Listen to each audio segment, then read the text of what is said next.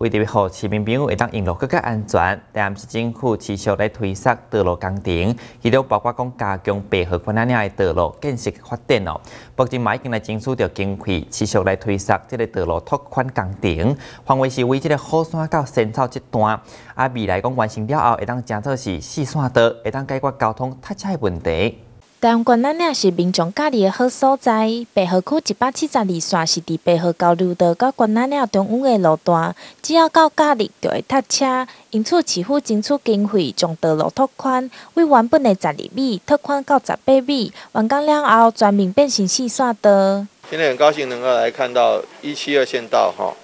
啊这个拓宽的工程，从仙草好啊这个到到白河哈。这个坦白讲，从湖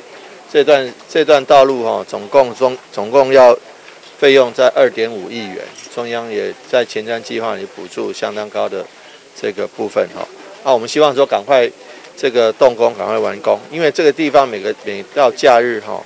都会容易车辆出入蛮多的，容易塞车哈。那我们希望说这个部分赶快做。因为北河附近的地区拢已经拓宽成四线道，只有一百七十二线之大，阁是维持两线道，所以今年全面动工，希望尽早解决塞车的问题。北河后边正在拓宽，啊，村这站吼是两线道，啊，所以诶，干部局的先将这个都市计划本来十二米变做这个十八米，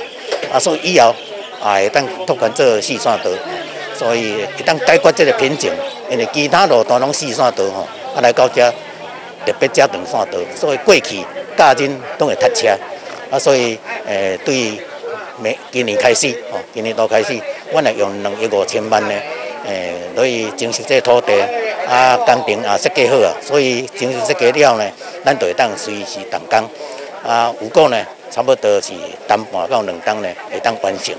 今年开始动工了后，按两年的时间会当完成。未来市府嘛会持续改善，做好路边的工课。记者转会郭博义北河区采访报道。